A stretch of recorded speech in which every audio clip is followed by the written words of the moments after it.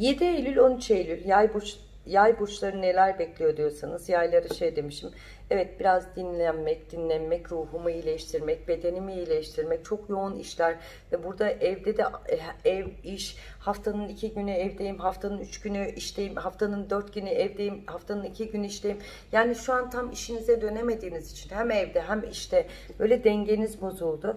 Aslında eve de alıştınız. Ne güzel ev sisteminde işe devam edeyim dediğiniz noktalarınız var ama siz evde oturacak bir enerji olmadığınız için ne kadar evinizi sevseniz de iş kapınızda daha kendiniz güvenli ve kontrollü hissediyorsunuz. Sanki evde çalışırken ya da farklı bir noktada çalışırken oraya güvenemediğiniz için hata yapmaktan korkuyorsunuz. Bence siz başarılısınız. Başarmak istediğiniz birçok şeyde tırnaklarınızla yaptınız. O yüzden ev ya da iş yeri bir sıkıntı yok. Yeriniz devam edecek. işiniz güzel bir noktaya erişecek. Hatta ve hatta uzun süredir işsiz olan yay burçlarına da ya güzel teklifler ya da iş kapınızla ilgili evraklar bir denenme süreci. Yani bir iş oluşum olacak ve bir denenme evresine gireceksiniz. Bu denenmede işiniz kabul olmuş olacak. Endişe etmenizi istemiyorum. Ee, özellikle de bazı kendi işini yapan yay burçlarında kapatma kararı verdiler e, en azından evde ya da internet üzerinden yaparım boşuna kira ödemem dediniz. Bu karar da sizin için hayırlı olacak. Ama belli bir ileride bu tekrar yapmak istediğiniz kapıyı büyüteceksiniz.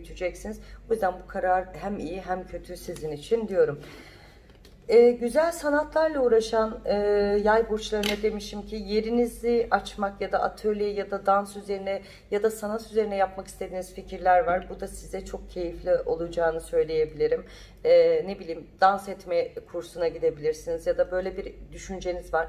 Ya da jimnastik salonu açmak istiyor ya da masaj salonu açmak istiyorsanız hani biraz daha bekleyin biraz daha bununla alakalı altyapılarınızı güçlendirin. Ondan sonra açmak istediğiniz yeri açın. Siz bu konuda da çok başarılı ve aydınlık olacaksınız demişim ilişkiler konusunda terk edilme korkusuna gireceksiniz bu hafta hatta işinizle alakalı güvensizlikler e, sizi yıpratacak olaylar e, biraz kafanızı karıştıracak onun aile ailesinden ya da sizin ailenizden kaynaklanan yanlış hatalar ilişkiyi çok zorlayacak. E, bir laf büyüyecek büyüyecek ya ilişkide zarar haftanız olabilir. Yani işinizde ne kadar doğru karar haftanız olsa da evli olan ve ilişkisi ciddiyette olan gereksiz tartışmalara geleceksiniz. Hiç gerek yok. Bence bu hafta hiçbirini duymayın. Biraz gülümseyin, biraz enerjinizi değiştirin ve tartışmalara adapt eğer tartışmalara müdahale ederseniz zarar etmezseniz aydınlık olarak görüyorum e, evlenmek isteyen ve ilişkim yok artık benim hayatımda biri olsun diyorsanız aracı doğrultusunda biriyle tanıştırılacaksınız ve bu tanışma sizi evlilik sonuçlandırılacak. Yani bu hafta böyle bir aracılar gündeme gelebilir. Arkadaşlarınız size birilerini tanıştırmak isteyebilir. Bence bir gidin bir şey kaybetmezsiniz. Bir kahve içmek kimseye bir şey kaybettirmez diye biliyorum değerli yay burçları. Ee, mesela Ege ya da Akdeniz'de yaşayan bazı yay burçları Marmara bölgesini Karadeniz'de e, yaşa, mesela İç Anadolu bölgesinde yaşayanlar Karadeniz bölgesine gitme gibi bir noktanız var. Özellikle toprak satmak isteyen bazı yay burçlarının bu dönem satmayın zarar göreceksiniz. Biraz daha vaktiniz var diyorum. Mahkemelik ya da icralık olan kişilere demişim ki bunları çözeceksiniz ve hatta ve hatta üstünüze para kalacak. E, korktuğunuz gibi değil daha başarılı olacak söyleyebilirim. Yerinizde değişim bekleyen yaylara evet güzellikler söz konusu olacak ama biraz daha sabırlı olun demişim.